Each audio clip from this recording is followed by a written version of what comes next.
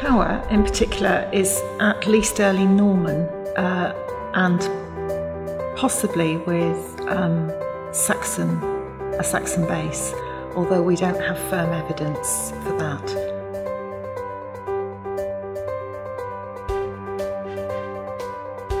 We're very fortunate that Heritage Lottery Fund has decided to offer us a grant, a substantial grant actually, to um, make uh, repairs and urgent conservation work to our tower.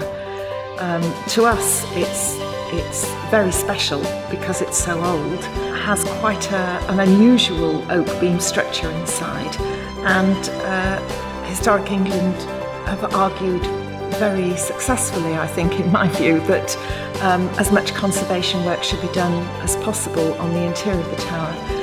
However, the most urgent piece of work is to the tower roof, um, which Historic England has said is in a very bad state. And uh, so Heritage Lottery Fund will also be funding the complete refurbishment of that.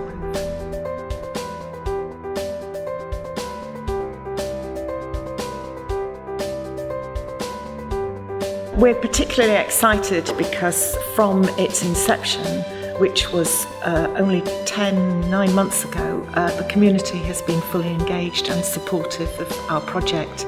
The project itself is much more about uh, the community and um, how it will involve itself in helping us with not only fundraising but also the heritage activities going forward.